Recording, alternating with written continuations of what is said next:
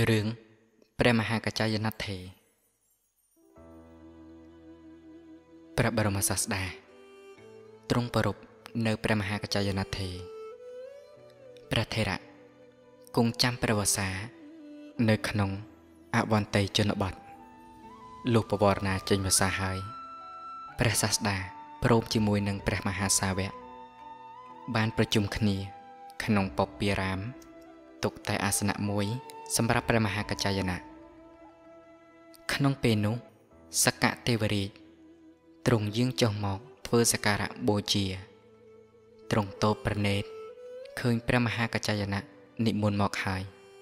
ទ្រង់សោមនស្សរីករាយក្រាបថ្វាយបង្គំបូជា ដោយផ្កាកំរង គ្រឿងក្រអូបដែលជាទឹក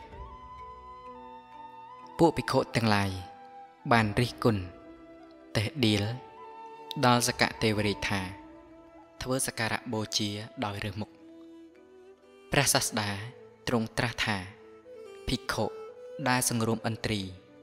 ដូចជាព្រះមហាកច្ចាយណៈនេះនឹងជាទីស្រឡាញ់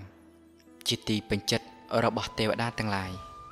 ដូច្នេះហើយទើបទ្រង់ត្រាស់នៅប្រគាថានេះថាយះសិនត្រិយានិសមថង្កតានិ អាសាយថា សារថេណាសុតតាហៃនមានសៈអនាសវៈទេវាបិតស្សៈបេហយន្តិតាតិណោអន្ត្រីទាំងឡាយរបស់បុគ្គលណា ដល់នៅការស្ងប់រងាប់ដូចជាសេះដែលនីសារថីហ្វឹកហាត់ល្អហើយសម្បីទេវតា